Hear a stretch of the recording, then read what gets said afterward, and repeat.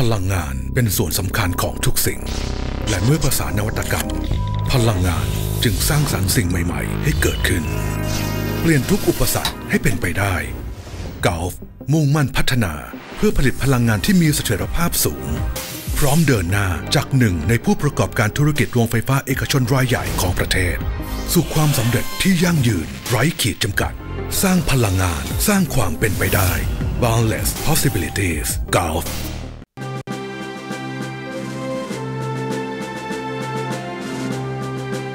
สายเลือดบอลไทย สนับสนุนโดย การสร้างพลังงานสร้างความเป็นไปได้ Boundless Possibilities Gulf บริษัทแสงไทยอินเตอร์เทรดจำกัด Redbox by Air Asia Unique International Forwarding อ้าวขอบคุณผู้สนับสนุนสายเลือดบอลไทยนะฮะกอล์ฟ สร้างพลังงานสร้างความเป็นไปได้ Boundless Possibility Golf ครับนะครับอ่าอ้าวก็ติดตามกันได้ทุกวันพฤหัสบดีนะฮะ สายเลือดบอลไทย กับไกด์สรเดชเพชรแสงสายกุล และพี่ทอมกสิติกมลนาวินนะครับ ก็ทางเฟซบุ๊กอ่า News ก็ One News One นะฮะหรือว่า Blood Ball Thai Fan นะฮะชมย้อนหลังทาง YouTube Eurotom นะฮะ ช่วยกัน subscribe กดไลค์กดแชร์กด follow ให้ด้วยครับนะพี่ดอกมีคุณเจอประกรณ์บอกขอข่าวเมืองทองหน่อยครับอ่าก็เอาเลยไหมครับอ้าวอ้าวว่าไปโค้ชเบ้มีข่าวลือเออว่าเออเมืองทองที่ที่ฮะตอนนี้มันไม่มีโค้ชนะครับ เพราะว่าฮะแยกทางกับชูร์ชิชไปก่อนจบฤดูกาลมีข่าวว่าจะดึงโค้ชเบ้มาคุมทีมอือฮึแต่ว่าถ้ามองแล้วเรามองเป็นโค้ชเป็นไปได้ค่อนข้างยากอ่าฮะอาจจะไม่ใช่โค้ชเบ้ก็ได้นะครับเออถึงที่แบบที่พี่ทอมบอกคือต้องรอชูเสื้อก่อนใช่นะครับอืมอ่า เพราะว่าทางระดับอย่างเมืองทองเนี่ยเมืองทองเนี่ยตอนนี้ถึงเวลาแล้วที่เมืองทองจะต้องทวงบัลลังก์คืน ใช่ แล้วก็โค้ชในประเทศไทยเนี่ย ตอนนี้หาไม่ได้แล้วมีมีว่างอยู่คนฮะซิโก้โอ้โหกำลังจะบอกพอดีเลย นี่แหละคือคือเราก็มองว่าเออซิโก้ใช่น่าจะถึงใช่เวลาที่จะใช่ได้คุมเมืองทองสักที เออใช่นะเป็นไปได้ และคนออเบสด้วยอุปนิสัยลักษณะเขาเขาทำกับเมืองทองไม่ได้หรอกครับ เราทะเลาะกับคนในเมืองทองแน่นอนตีกันตาย อืมอืมอืมเมืองทองเขาก็มีใช่ก๊กมีเหล่ามีระดับชั้นของเขาอืมนะครับอย่างไรก็ตามของพวกนี้มันอยู่ที่ผลงานอะครับนะฮะอืมคือบางทีอะเราไปมองคนที่เอ่อใบภายนอประกกาศนียบัตรอืมอะไรอย่างเงี้ยโอ้นี่เป็นด็อกเตอร์มาเหรอครับนะฮะความรู้ท่วมหัวเอาตัวไม่รอดเคยได้ยินไหมครับนะฮะ พี่ทอมคนหนึ่งอะเป็นคนไม่สนใจเลยพวกอะไรแบบพวกนี้ใบยจะศเป็นใครหรือจะเป็นคำนำหน้าประวัติเคยทำอะไรหรืออะไรมาไม่รู้แต่ว่าถ้าเผื่อคุณพลั่งพลูออกมาจากปากด้วยความคิดที่ดี มีเหตุผลหลักแหลม น่าฟังครับอยากฟังอืมนะฮะ แต่ถ้าเผื่อเป็นโอ้สุดยอดเอ่อปรมาจารย์เอ่อด็อกเตอร์หรืออะไรครับต่างอืมๆแต่ถ้าเผื่อคุณ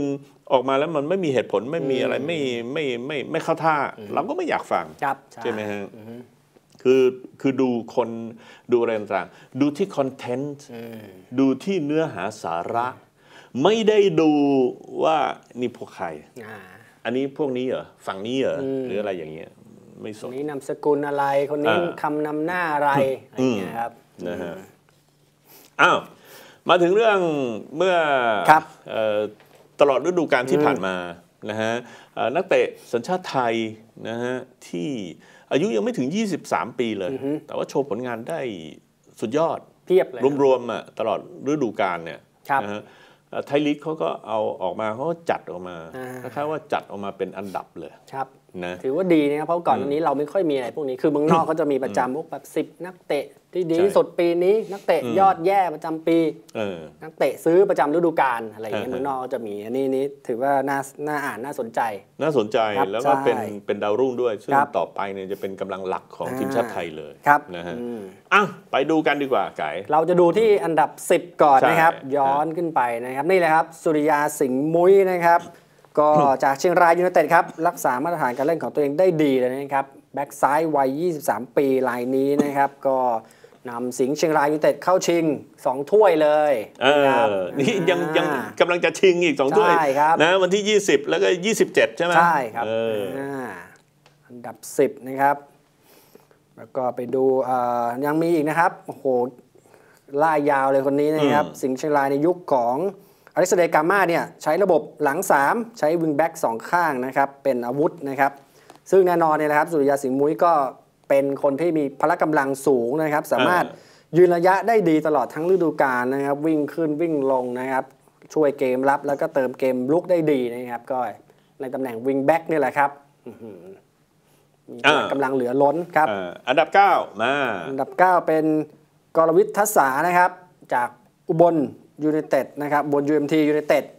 ก็ถ้าจำกันได้เขาเป็นเด็กปั้นของทางด้านกิเลนผยองนะครับ ปล่อยให้อุบลยืมตัวครับ โดยเล็กแรกเนี่ยก็ถูกปล่อยให้บางกอกการ์ดนะครับบางกอกบางกอก FC ขออภัยครับไม่ใช่บางกอกการ์ดครับเป็นทีมในไทยลีก 3 ยืมตัวก่อนเรียกกลับมานะครับแล้วก็ส่งต่อให้ดินแดนอีสานใต้ โดยในช่วงปลายฤดูกาลเนี่ยได้รับโอกาสจากคัมเบะอย่างต่อเนื่อง และก็ตอบแทนด้วยผลงานยิง 4 ประตูให้กับอุบล UMT นอกเหนือจากการยิงประตูเนี่ยก็ยังปั่นป่วนเกมรับคู่ต่อสู้ได้ดีอีกด้วยครับอ่าอันดับต่อไปอันดับคนนี้ครับแน่นอนอามนเอ่ออานนท์อมรเลิศศักดิ์นะครับของบางกอกกราส FC ก็ไม่ค่อยได้รับโอกาสลงสนามให้กับบุรีรัมย์นะครับถูกปล่อยให้บางกอกกล๊าสยืมตัว และฟอร์มการเล่นในสีเสื้อเดอะแรบบิทก็โอ้ทำได้เตะตาดีทีเดียว โดยความโดดเด่นของอานนท์เนี่ยทำให้แฟนบอลเรียกร้องให้มีชื่อไปเอเชียนเกมส์ แม้จะไม่มีชื่อในชุดดังกล่าว แต่แฟนบอลทั่วประเทศก็ยังเชียร์เขานะครับ จนล่าสุดเนี่ยมีชื่อติดทีมชาติชุดใหญ่ในเวลานี้ แต่ก็นั่นแหละครับระดับสโมสรระดับสโมสรเสียดายที่บางกอกการต้องตกชั้นนะครับ ไม่ฉะนั้นเนี่ยอันดับการ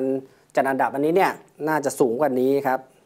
8 3คนไปแล้วครับ อันดับ7คนนี้อ่าสหรัฐสนที่สวัสดิ์นะครับจากชนบุรี FC เป็นมิดฟิลด์นะครับวัย 20 ปีจากฉลามชนนี่ชื่อเล่นก็เจ้าแจ๊บนะครับดูการฤดูกาลนี้เนี่ยก้าวขึ้นมายึดตัวจริงของทีมได้เป็นที่เรียบร้อยแล้วครับชลบุรีจดอันดับ 9 นะครับ ถือเป็นอันดับที่ต่ำสุดในประวัติศาสตร์สโมสร ตั้งแต่เล่นไทยลีกครั้งแรกปี 2016 แต่อย่าลืมว่าปีนี้ก็มีเรื่องดีๆก็คือแจ้งเกิด2006อ่า2006 ครับขออภัย เรื่องดีๆก็คือแจ้งเกิดอ่า ดาวรุ่งขึ้นมาเป็นตัวหลักหลายรายเลยนะครับ อันดับต่ำสุดนี่หมายถึงอันดับห่วยสุดสวยสุดเออใช่ชนบุรีเคยเป็นแชมป์ถูกต้องรองครับแชมป์อ่าเคยเป็นทีมที่ดีที่สุดเป็นต้นแบบของไทยลีกเลยนะครับอ่าโดยแกล้งเกิดหลายคนเจ้าแจ๊บนี่เด่นสุดเลยนะครับ เป็นอีกหนึ่งกำลังสำคัญในแดนกลางของทีมยิงไป 1 ประตูในเกมที่เปิดหลังชนะ PT ประจวบ4ต่อ2ครับอืมแล้วก็ไปดูอันดับที่ 6 นะครับคนนี้นี่เป็นปิกตัวจี๊ดเลยนะครับ พิชาอุตรา จากพัทยายูไนเต็ดนะครับวัยแค่ 22 ปีเท่านั้น เป็นหัวใจสำคัญของพัทยาเลยนะครับ รับบทกระชากลากเลื้อย เล่นงานเกมรับคู่ต่อสู้ พาทีมจบอันดับ 8 ของตารางนะครับ ก็เจ้าตัวยิงไป 5 ลูก ซึ่งมีช่วงหนึ่งเนี่ยได้รับบาดเจ็บจนต้องพักรักษาไประยะหนึ่งทำให้ฟอร์มสะดุดเล็กน้อย แต่ว่าพอกลับมาฟิตสมบูรณ์ก็ท็อปฟอร์มเหมือนเดิมครับอืมนอกจากลากเลื้อยแล้วก็ยิงดีด้วยนะครับคนนี้อืม ไปดูอันดับที่ 5 นะครับ ขวัญชัยสุขล้อมจากปอ้าวระจวบ FC คนนี้เป็นอะไรกับสุพจน์ซับล้อมอะเนี่ยอ่าเดี๋ยวเราไปดูกันเลยครับ เป็นผู้สาประตูที่ถูกเลือกเข้ามาเป็นหนึ่งใน 10 ดาวรุ่งยอดเยี่ยมปีนี้เลยนะครับ อายุ 23 ปีเท่านั้นอืมยืมตัวมาจากบุรีรัมย์ยูไนเต็ดก็ปีทีประจวบ FC เนี่ยทีมน้องใหม่ทำผลงานได้น่าทึ่งเลยนะครับ เมื่ออยู่อันดับที่ 6แล้วก็ขวัญชัยสุขล้อมเนี่ยคือหนึ่งในนักเตะที่ทุกคนพูดถึงอย่างมาก จังหวะการออกมาตัดบอลและยืนตำแหน่งเนี่ยเขาทำได้ดีนะครับนี่ชุดนี้เขาติดทีมชาติด้วยเนี่ยใช่ไหมครับใช่ชุดครับ AFF Championship เนี่ยก็เขามองว่านะครับประสบการณ์นี่โชคโชนเกินอายุเลยนะครับ ทั้งที่เพิ่งยึดมือหนึ่งไทยลีกเป็นปีแรกเท่านั้น จังหวะเซฟลูกยากๆก็เป็นภาพที่แฟนบอลได้เห็นกันแทบทุกสัปดาห์เลยทีเดียวครับ อันดับที่4ี่เริ่มจะคุ้นๆกันนะครับนี่คนนี้สุประโชคสารชาติของบุรีรัมย์ยูไนเต็ดนะครับเป็นหนึ่งในดาวรุ่งของทีมที่โชว์ฟอร์มได้อย่างโดดเด่นเลย แม้ชื่อของเขาจะก้าวมาอยู่ทีมชุดใหญ่ได้หลายปีแล้วก็ตาม แต่ว่าถือว่าปีนี้เนี่ยเล่นได้ดีสุดๆ เป็นกำลังสำคัญของทีมเลยนะครับ มีส่วนกับเกมรุกของทีมเป็นอย่างมากในปีนี้ แม้จะยิงได้ 2 ประตูน้อยกว่าฤดูกาลที่แล้วที่ทำไป 7 ประตู แต่หลาย ๆ ประตูที่บุรีรัมย์ได้เนี่ยเขาก็มีส่วนร่วมนะครับทำให้สถิตินี่บอกเลยนะครับว่าทำไป 6 assist แล้วนะครับในปีที่ผ่านมา โอ้โหถือว่าเยอะนะครับเป็นประโยชน์กับทีมอย่างมากเลยใช่ครับนะฮะอ้าวเหลือ 3 อันดับสุดท้ายมีใครกันบ้าง ไปดูนะครับสุประชัยใจเด็ดนะครับเออกองหน้าของบุรีรัมย์ยูไนเต็ดนะนี่ครับเป็นสุดเอ่ออะไรกองหน้าทีมชาติไทยชุดใหญ่ ใช่นี่ไปเอเชียนเกมด้วยนะครับ เป็น super sub ในเอเชียนเกม ก็ได้รับโอกาสมากขึ้นกว่าฤดูกาลก่อนนะครับ ลงสนามไป 31 เกม ที่เป็นตัวจริงเนี่ยมีเพียงแค่ครึ่งหนึ่งเท่านั้น แต่อย่าลืมว่าบุรีรัมย์นี่มีแนวรุกนะครับอย่างดิโอโก้ ออสวัลโด้ ฟิลโญ่ยืนปักหลักอยู่แล้วแล้วนะครับ นอกจากจะทำงานอย่างหนักเพื่อโอกาสลงสนามแล้วเนี่ยเขายังปรับตัวให้เล่นได้หลากหลายมากขึ้น จะเห็นได้จากฤดูกาลนี้นะครับมีหลายเกมเลยเนี่ยถูกถอยมาเล่นเป็นกองกลางนะครับ ซึ่งก็เป็นอีกหนึ่งตำแหน่งที่ทำได้ดี แจกจ่ายบอลได้ดีนะครับ จนกลายเป็นดาวรุ่งที่น่าชื่นชมและจับตามองมากที่สุดคนหนึ่งของบุรีรัมย์นะครับในปีนี้ เมื่อวันก่อนเกมที่เตะกับทรินิดัดแอนด์โตเบโกอะครับถูกเปลี่ยนตัวลงมาใช่แล้วก็เล่นกลางใช่ไหมครับเออแล้วก็พอได้บอลเนี่ยลากขึ้นมาสองสามหลาอ่าแล้วก็จ่ายทิ้งบอลไปให้เจ้านิธิวติพันธ์อ่าพ่วงจันทร์ที่โอ้ลุ้นยิงได้สวยเลยในช่วงนะท้ายนะครับเนี่ยคนเป็นมิดฟิลด์อะมัน คือมัน vision มันต้องดีตามันต้องมองอะครับใช่ใช่ไหมอ่านะว่าจะให้บอลใครครับนะซึ่งโอ้โหลูกนั้นพี่ทอมดูแล้ว ศุภชัยใจเด็ดให้บอลร้ายกาจมาก ครับ ก็คือพักบอลได้แล้วดึงจังหวะให้มิดฟิลด์จากแถว2นี่สอดขึ้นมาอืมนะครับอืมอ้าวอันดับสองอันดับ2ครับ วันนี้เนี่ยเจ้ายิมนะครับวรชิตกนิษฐ์ศรีบำเพ็ญจากชลบุรี FC ก็หลังจากถูกวิจารณ์ฟอร์มการเล่นอย่างหนักเมื่อฤดูกาลที่แล้วนะครับเจ้ายิมนะครับมิดฟิลด์ดาวรุ่งเนี่ยเกือบจะกลายเป็นดาวดับไปแล้ว แต่ว่าปีที่ผ่านมาเจ้าตัวระเบิดฟอร์มเก่งเลยนะครับ ลบเสียงสบประมาทจากทั่วทุกสารทิศได้สำเร็จ โดยปี 2018 เนี่ยชลบุรีมีการเปลี่ยนแปลงครั้งสำคัญก็คือดันเด็กดาวรุ่งนะครับก้าวขึ้นมาเป็นแกนหลักของทีม โดยเฉพาะเจ้ายิมเนี่ยรับบทจอมทัพในปีที่ผ่านมา เออ ก็นั่นแหละ ดันเด็กดาวรุ่งอะตอนแรกเกือบแย่เหมือนกันนะใช่ใช่ไหมต้องลุ้นมีเกือบหนีตตกกชั้ชั้นนเหมือนกันนะเกือบตกชั้นเหมือนกันนะครับ ก็สถิติของเจ้ายิมคือลงสนามให้กับทีมครบทุกนัดเลยนะครับ เป็นตัวจริงถึง 32 นัดอืมที่สำคัญคือนักเตะไทยที่ยิงประตูได้มากที่สุดของโตโยต้าไทยลีกปีนี้ร่วมกับสุมัญญาปุริสายคือ 12 ประตูเท่ากันอ่านะฮะตกลงก็ 12 ประตูเท่ากันแล้วครับนะฮะอ่าก็เนี่ยยิมเนี่ยพี่ทอมก็มองว่าคือเขาอายุยังน้อยอะครับนะฮะ เขาเวลาลงสนามเนี่ยต้องห้าวอืมเออใส่ความห้าวเข้าไปอะไรนะฮะควรจะย้ายไหมครับพี่ดอมคนนี้ก็ย้ายทีมหรือจะก็อยู่ก็ลองดูก็ได้ เปลี่ยนบรรยากาศก็ได้อ๋อนะลองดูในสภาพแวดล้อมใหม่อ่าๆนะเล่นกับตัวกองหน้าดีต่างชาติครับเออหรืออะไรอย่างเนี้ยบางทีอาจจะได้สามารถที่จะโชว์ฟอร์มอะไรได้มากกว่านี้ ใช่ไหมครับ เอ่อเพราะว่าของชนบุรีเนี่ยเขาก็มีแนวทางในการทำทีมอะไรใช่ของเขา ซึ่งบางทีตัวกองหน้าดีๆ อย่างเงี้ยที่เอ่อนักเตะผิวสีอะปรินซ์เงี้ยอ่าพี่ทอมก็มองว่าดีปองซ่าใช้ให้ถูกอ่าใช่ไหมแต่ว่าชนบุรีก็ปล่อยปไปล่อยยืมไปเอครับอนะเอ่อบางกอกกลาสอย่างเงี้ยเขาก็มีตัวหนึ่งอะชื่ออะไรนะเมนดี้ว่าเฟรเดริกเมนดี้หรืออะไรเงี้ยอ่าเอ่อต้นต้นฤดูกาลหรือครัไงบอืมนะถ้าจำไม่จำจำไม่ผิดอะครับใช่ไหมฮะ ก็อย่างเงี้ยก็เขาก็ใช่ใช่คือไม่ได้ใช้ตามที่ตามพี่ที่ทอเขามถนัดคาดหวังไว้อ่าอย่างนั้นครับใช่ไหมฮะเพราะฉะนั้นอย่างยิมเนี่ยถ้าย้ายไปอยู่ทีมอื่นเนี่ยอืมนะบรรยากาศใหม่ ๆ ตัวผู้เล่นใหม่ ๆ ที่เขาอาจจะเข้าฝักเข้าฟอร์มกับยิมก็ได้ เจ้าเจ้ายิมน่าจะมีแรงกระตุ้นอืมเห็นว่าตัวเองอาจจะแบบฮึกเหิมกล้าเล่นเออกล้ายิงยกระดับตัวเองได้มากขึ้นกว่านี้ด้วยเออนะครับฮะ อ้าวอันดับหนึ่งเป็นใครล่ะ สุดท้ายครับนี่เป็นใครไปไม่ได้ครับวันนี้เด่นจริงๆครับศศลักษณ์ ไหประโคนครับของบุรีรัมย์ยูไนเต็ดนะครับก็ปี 2018 นี่เด่นเหลือเกินครับอืมก็คือตำแหน่งวิงแบ็กฝั่งขวาของบุรีรัมย์เนี่ยนะครับในปีนี้เป็นของสสลักเกือบทั้งหมดเลยนะครับ ถือเป็นอาวุธเด็กอาวุธเด็ดที่คอยเล่นงานคู่ต่อสู้นะครับคือสไตล์การเล่นก็คือเติมเกมได้อย่างโดดเด็ดเผ็ดมันนะครับอืมแถมไม่เสียตำแหน่งในยามเล่นเกมรับด้วยอืม โดยฝีเท้าในฤดูกาลที่ผ่านมาเนี่ยเรียกได้ว่าเอ่อเกินกว่าใช้คาว่าดาวรุ่งไปแล้วแล้วนะครับ โดยเฉพาะล่าสุดเนี่ยมีชื่อติดทีมชาติชุดใหญ่เป็นที่เรียบร้อยแล้วด้วยอืมคือเล่นแบ็คขวาก็ได้ แบ็คซ้ายก็ได้เออล่าอ้าวสุดเดี๋ยวคนนี้แบบที่ทำให้เบอร์ 13 ของบุรีรัมย์อะหงอยนฤบดินนฤบดินใช่วีรวัฒน์โนดม ใช่เออก็ประจวบเหมาะคือลังลูกประเด็นเจ็บด้วยฮะนะครับสสลักก็เลยได้เล่นนะครับอืม ล่าสุดรายวัฒน์ให้ไปเล่นปีกแล้วด้วยเออในเกมกับฮ่องกงนะครับ ก็สัสลักเนี่ยพี่ทอมมองว่าก็ก็ดีฮะห้าวดีครับนะฮะอืมเออก็ตอนนี้ยังยิงยิงทิ้งยิงขว้างบ้างครับอืมนะแต่กล้าๆยิงเออแต่ว่าต้องหัดครับเล่นบอลสองเท้าอืมนะฮะเอ่อฝรั่งเขาเรียกไบชอมนิสครับนะฮะคือเล่นสองเท้าไม่ใช่เสือใบนะแม่นะฮะ เล่นบอลให้ได้อ่าสองเท้า ยิงให้ได้ แล้วตัดสินใจนะครัยิบงเนี่ยมันจะมันโอ้โหมันจะเฉียบนะฮะก็แล้วก็ตอนนี้เราก็ขาดไม่ใช่เหรอครับตัวแบ็คขวาเนี่ยอ่าวิงแบ็คทางขวาเนี่ยครับเรามีซ้ายเนี่ยไม่ต้องห่วง ใช่ไหมครับแต่ถ้าอ่าได้ขวามาเนี่ยเออสัสลักเนี่ยนะฮะก็เลี้ยงขึ้นมาแล้วตัดเข้ากลางยิงด้วยซ้ายครับ เล่นให้หลากหลายเขาจะได้ดักทางไม่ได้นะครับเออนะฮะอะ ทั้งหมดนี่ก็คือ 10 นักเตะนะครับที่อายุยังเยาว์วัยอยู่ครับอายุไม่เกิน 23 ปี แล้วก็ได้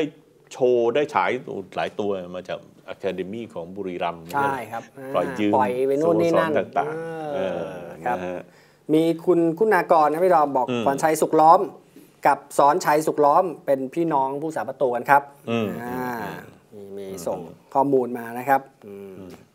แต่ไม่เกี่ยวอะไรกับสุพจน์ซับล้อมนะไม่เกี่ยวกันไม่เอาไม่เกี่ยวเออสุขล้อมอ่าอ่าครับฮะอะก็เนี่ยฮะสิบนักเตะเนี่ยนะก็เป็นที่จะต้องจับตามองกันต่อไป แต่ละคนก็จะเติบโตอยู่ในเอ่อสโมสรของตนเอง หรือทีมชาตินะมาโชว์เอ่อฝีเท้าในทีมชาติ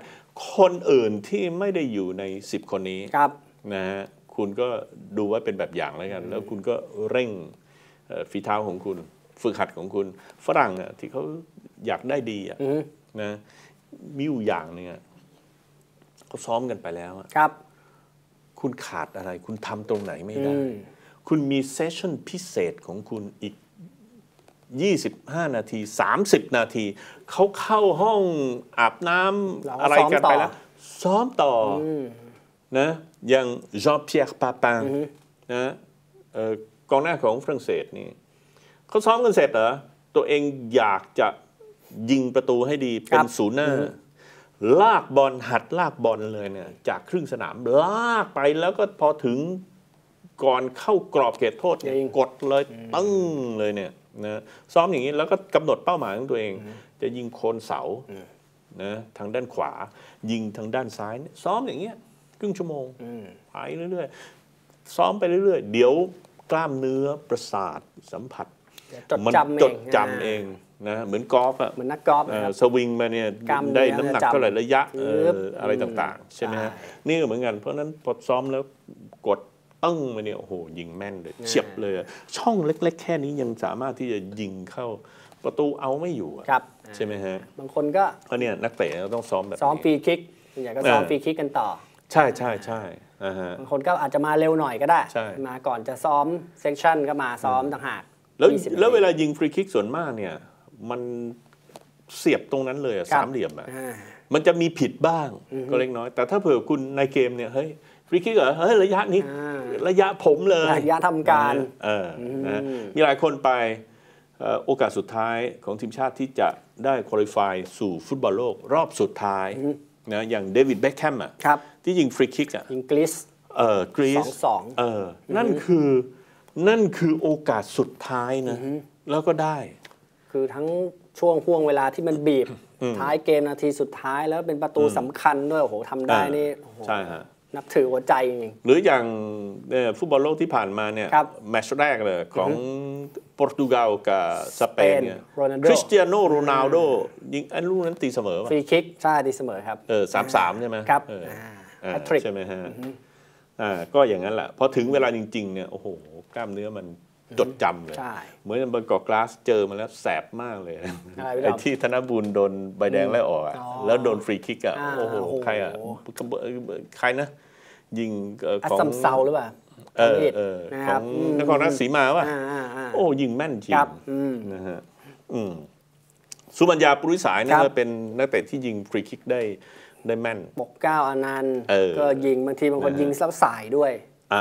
เทคนิคแต่ละคนไม่เหมือนกันครับนะครับ คุณอยากจะเติบโตเป็นนักกีฬาเป็นนักฟุตบอลที่ดี เดินสายนี้เนี่ยนะฮะรวยแน่นอน รวยแน่นอน เดี๋ยวเนี่ยเงินเดือนเขาเนี่ยเอ่อครัมีบนักเตะไทยเนี่ย ก็มุ้ยนี่ก็เงินเดือนก็เคยเป็นล้านน่ะเคยแตะหลักล้านหลักล้านเหมือนกัน่ะนใช่ที่อัลเมเรียครับใช่ไหมเดี๋ยวนี้บางคนหกแสนเออโอ้โหจิบจิบเลยอ่าใช่ไหมนักเตะเนี่ย เอ่อเรียกว่าสองสามแสนสามแสนอะไรเนี่ยเรียกว่าหาได้เยอะแล้วครับตอนนี้นี่ต่อเดือนนะที่พี่อ่าทอมบอกคือนักใช่เตะไทยใช่ยังต่อเดือนอยู่แต่อืมเมืองนอกนี่ต่อวีคนะครับอ่าฮะฮะเพราะฉะนั้นก็มันก็ต้องฝึกวิธีง่าย ๆ ก็คือทำอะไรไม่ได้อะอืมก็จับช็อตนั้นน่ะมาฝึกสิใช่ใช่ไหมฮะนะฮะอะก็ดูตัวอย่างไว้นะ พวกนี้ต่อไปก็จะเป็นรุ่นพี่ต่อไปนะครับ เอาช่วงนี้เราพักกันสักครู่เดี๋ยวช่วงหน้านี่เรามาว่ากันที่รายชื่อนักเตะ 27 คนที่ได้รับการประกาศออกมา เพื่อที่จะเอาไว้สู้ศึก AFF Championship สักครู่ฮะ